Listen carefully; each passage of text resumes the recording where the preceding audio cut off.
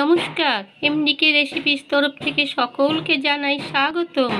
শুরু করব আজকের রান্না। আজকে হবে সর্ষে বেগুনের মাছের ঝাল। এই আছে মাছ, বেগুন, কাঁচা লঙ্কা টমেটোর এখানে আছে সর্ষে গুঁড়ো, হলুদ গুঁড়ো, লঙ্কার গুঁড়ো, নুন। চলুন শুরু করা যাক। তেল গরম হয়ে গেছে, মাছ ভাজা চাপিয়ে দিই। মাছটা উল্টে দিই। মাছ ভাজা আমার হয়ে গেছে, মাছ ভাজা তুলে নেব। সবসময় কি পেঁয়াজ রসুন দিয়ে মাছ ভালো লাগে? পেঁয়াজ রসুন ছাড়াও মাছ ভালো লাগে। পেঁয়াজ রসুন ছাড়া এইভাবে করুন, খুব টেস্ট হবে। খেতে অবশ্যই ভালো লাগবে। বাড়িতে বানিয়ে ফেলুন এই ধরনের মাছ রান্না। এখানে আমি একটু কালো জিরে দেবো। কালো জিরে দিলাম। আর এই যে বেগুন, টমেটোর কাঁচা লঙ্কা দিয়ে দেবো। যেমন ঝাল খাবেন দেবেন।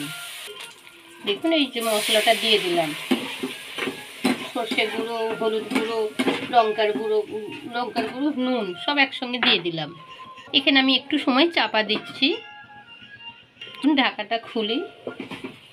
ঢাকাটা খুলেছি, আমার মশলা তো কষা হয়ে গেছে। এখানে আমি জল ঢেলে দেবো।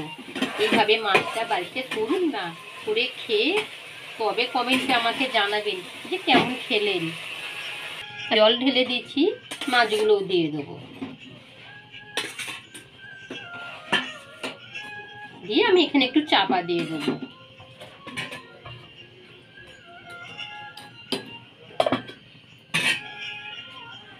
চলুন ঢাকাটা খুলি। মাছটা একটু উল্টে দিয়ে আরেক পিঠ হয়ে যায়। আমার হয়ে গেছে মাছ, নামাবার সময় হয়ে গেছে। এনে আমি একটু কাঁচা সর্ষের তেল দিয়ে দেবো। সর্ষে বাটাতে কাঁচা সর্ষের তেল দিয়ে দেখবেন, খেতে খুব ভালো লাগে, গন্ধটাও খুব ভালো হয়। আর দেবো ধনে পাতা। আর মাছ তো হয়ে গেছে, আমাকে লাইক করবেন সাবস্ক্রাইব করবেন কমেন্টে জানাবেন কেমন খেলেন হ্যাঁ? শেয়ার করতে ভুলবেন না। আর বেল আইকনটা বাজিয়ে দেবেন। ধন্যবাদ।